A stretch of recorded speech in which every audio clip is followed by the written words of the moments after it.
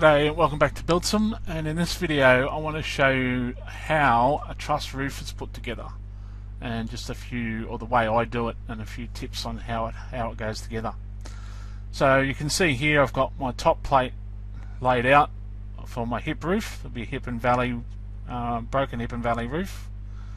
And the way trusses work is what they do is they work on common shapes. So they're not going to work on this L shape they're going to work on like a rectangle and a square shape. So what the manufacturers do when they design them is they chop them up you know, in the computer or in the on paper and create rectangles. So the first thing, if we're going to create a roof across this larger area, we actually need to carry a load across this gap here because the thing with trusses is they don't bear on internal walls anywhere. So we have to get a load, have to support trusses going across this gap. So the way they do that is with a girder truss. So you can see here, girder truss with a, a slightly larger bottom chord or a hardwood bottom chord. It spans that gap. You can see there it sits on the outside, in line with the outside of the plate. And then whatever distance that is from outside there to there, you just measure the same here and that lines up where your girder truss is going to go. Girder trusses also commonly will have joist hangers or boots attached to them, um, brackets, and yeah, they're they're ready to take the other trusses that are going to come into the uh, the girder truss.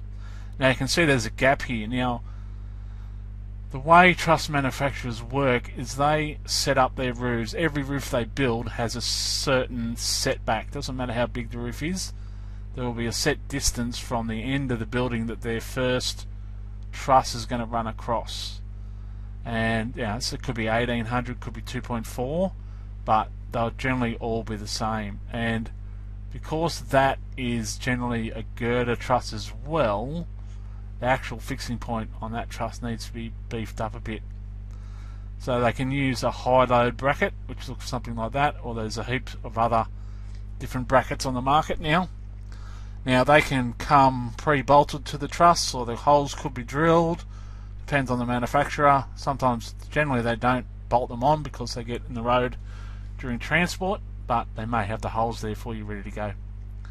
Okay, so they put their high load bracket in, and that high load bracket will be the distance that it needs to be from the end of the plate. Now that's called the first station.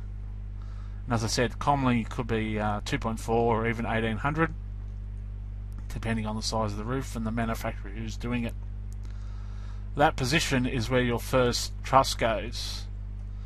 As you can see, that's sitting on the high load bracket there, and it's come in the same distance from the other end and this, these are both girder trusses as well because they're going to help to carry the hip end of the roof. So that's our first truss, our truncated girder sits in there, you equal distance parallel to the end of our wall. Obviously these trusses are all going to need to be temporary braced uh, as you build the roof, um, but generally what I do next, once I've got my first truncated truss in, is I will put in my hips and this will help me temporarily brace my truncated trusses and just helps the roof uh, go together. You'll see down here that this hip has had to be cut off because it runs into this uh, girder truss here but my other hips all have an overhang to take the eave later on.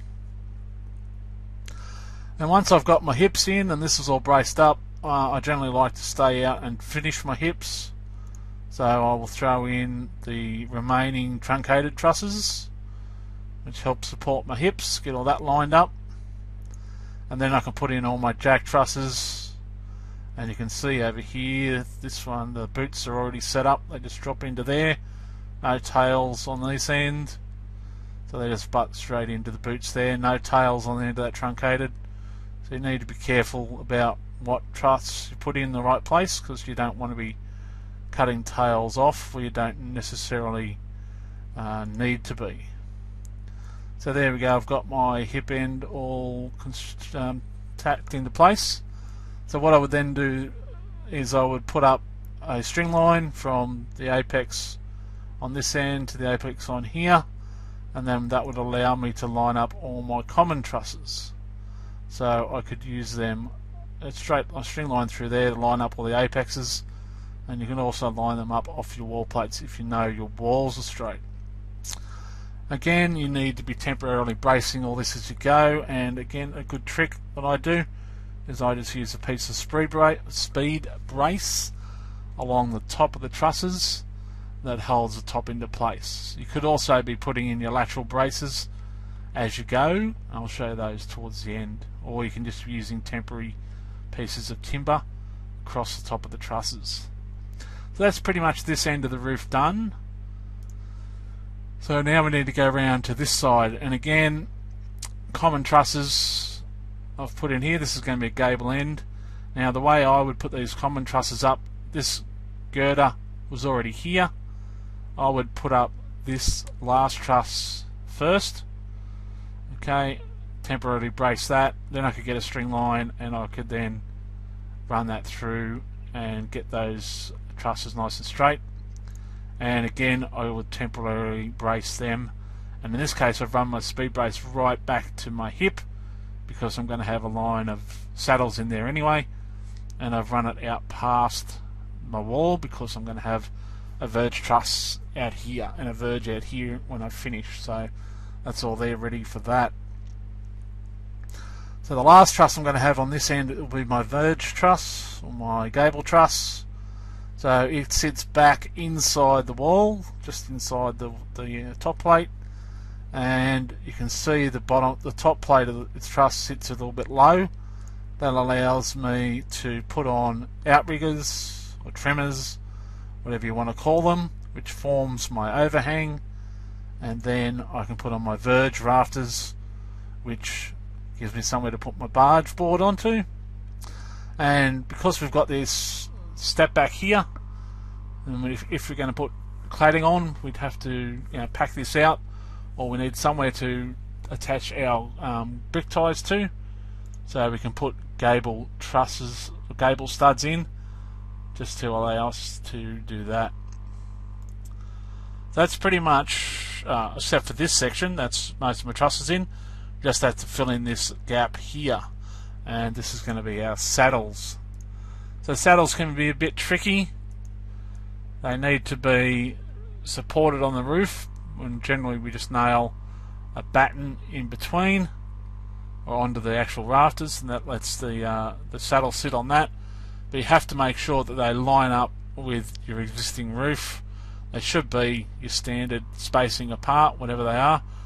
And the last one normally gets a little bit tricky because it's normally very very small and in some cases if I go around the other side if they have a large amount of overhang you may actually have to put a noggin or a trimmer underneath them to support the truss or the end of the truss or indeed the whole thing when they get really really small.